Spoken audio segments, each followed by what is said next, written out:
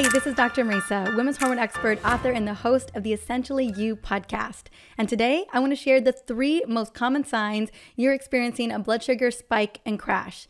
Now, the reason why this is so important is that most of us have no idea that this is happening to us at least once every single week. I'm talking about over 90% of us are experiencing blood sugar spikes and crashes throughout the week, and no one's telling us. Like, we don't run labs to look at this enough to know what's going on, honestly, until it's too late. Now, if we have a lot of blood sugar spikes and crashes, and we have crazy glucose variability that leads to diabetes, insulin resistance, cardiovascular disease, and a lot of other chronic conditions as well. So it's important to get a good sense of what's going on, even if you don't have a CGM or a glucose finger stick. You can still know and make changes based on the three signs that I'm going to be talking with you about. Now, the reason why I can relate so much to these three signs, and I think it's so important to know this, is that for years, probably well over a decade, I was pretty much on a blood sugar roller coaster every single day. I mean, I started my morning with sugar in my coffee, a kind bar, and then off to the races and having a sugary snack at 2:30 in the afternoon because I was craving something to get through the day. And I just kept perpetually feeding the blood sugar spike and crash all day long every single day for a very, very long time. And it's had a major impact on my health overall for the last several years. So, what I wanna do is I wanna get super clear about the three signs and then don't think I'm to leave you hanging with just the three common signs. I'm going to give you some incredible hacks that you can begin to use that can make a huge difference in creating stable blood sugar levels throughout the day so that you not only feel great, but that your body is doing great. So, without further ado, let's dive into the three most common signs. Number one, is you are hungry. Now, I don't know about you if this has ever happened where you have breakfast, maybe it's oatmeal or it's an English muffin or it is a vanilla latte on the go. And then around 11 o'clock in the morning, you are starving. Like you can't even make it to lunch. And then it happens again at like two or three o'clock. And then it happens again before dinner. And then it happens again at late night as a late night snack, right? You are just chasing that blood sugar spike and crash, leaving you hungry a lot throughout the day, wondering wondering, why am I so hungry all the time? That's number one. Number two is that you experience killer cravings. Again, often it's right before lunch, it's two to three hours after lunch, it is right before dinner, it is after dinner with that late night snack, right? You just find yourself having these cravings that come out of nowhere. Oftentimes it's because we are rebounding from that blood sugar spike and your body is getting signals from leptin and ghrelin that it is time to eat again and it's time to eat something carby or sugary. And then the third one is going to be lagging energy. This is whether you are waking up tired, just not rejuvenated in the morning, or you just hit a wall after lunch. I don't know if that's ever happened to you. I used to hit massive walls around two o'clock, 2:30, and honestly, it felt like I was crawling to that sugary snack or to that Starbucks to get a vanilla latte. So these are the three most common signs that your body is reacting in a very reactive type of way to a blood sugar spike and crash. Now, I want to give some recommendations for what we can do to actually get more stable blood sugar. And I've got some hacks that are literally going to change your world, going to change the way that you eat, going to change your energy levels, going to change how you feel throughout the day. Now, the first one, probably one of the most important things that you can do is start your first meal, your breakfast, no matter when you stop fasting, with a savory meal. So think leftovers, but you want to focus on good quality protein, healthy fats, and fiber from veggies.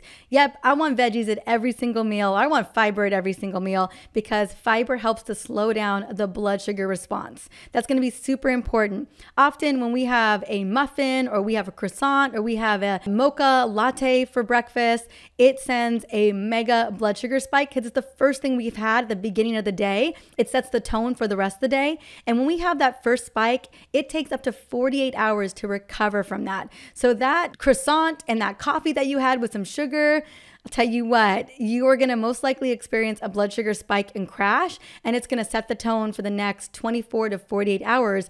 And even if you have other meals that are very focused on the protein, the healthy carbs, and the fiber, you still may even spike because of what happened at breakfast. So if there is one major shift I recommend is just shifting your breakfast to leftovers from the night before or a protein shake, something that's going to really deliver and slow down a blood sugar response to keep your blood sugar happy throughout the day. The next one is going to be make sure that you start your meal with fiber, with veggies, with salad, with roasted veggies, whatever it may be. Because what I love about fiber is once it hits the small intestine, it actually slows down the ability for sugar to get into the bloodstream, again, creating a more stable glucose level throughout the day. So if you can start every meal with a veggie or a salad, you are going to set yourself up for success. Next, I recommend eating your foods in order. So, again, a plate of veggies or a salad, then go to protein and fats. And then at the last part of that meal, have the carbs, right? Have the brown rice or the quinoa or have the sweet potato or roasted potatoes, whatever that may be, because you have slowed down the glucose response, the blood sugar response by eating those other foods first and then having the carb. Next, if you are gonna have carbs, which carbs are phenomenal, always dress them with protein, fiber, and fats. This is gonna significantly slow down those carbs from hitting the bloodstream too fast and causing a glucose spike. Number five, this is probably one of my favorites, hands down. I do this one all the time, pretty much every single day. Go for a 20 to 30 minute walk after your meals and if you can only slide in one walk, always do it after dinner. Dinner, because we are more insulin resistant at night because of our circadian rhythms, our body's just on the wind down mode. When we have dinner, we are more at greater risk of having a blood sugar spike. But if you can go for a walk within an hour of eating that meal, you will significantly blunt that blood sugar response and most likely not spike at all Plus, you get to connect maybe with your partner or your dog or just have a nice little nature walk. This is one of my favorite things to do. Also, it doesn't have to just be walking, it can be a number of activities that you're doing, but just as long as you're moving your body, you are going to help blunt that blood sugar response. Next is have dessert after a meal. Don't have dessert at breakfast. Don't have dessert as a snack. Have it after a meal for the same reasons why you want to have carbs at the end of a meal.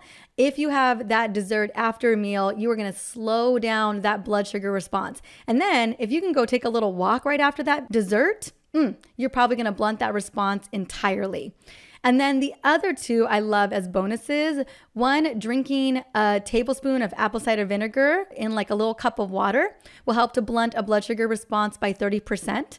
So definitely doable before any meal, especially it's going to be pizza or it's going to be tacos or or nachos or whatever it may be that's got like a high carb count or maybe it's waffles for breakfast. If you do a little apple cider vinegar, it will blunt that blood sugar response. And then the other thing, if you're not a big fan of vinegar before a meal, you can also do berberine. So berberine is phenomenal. It will spike a blood sugar. It'll reduce a blood sugar spike by over 35 to 40%.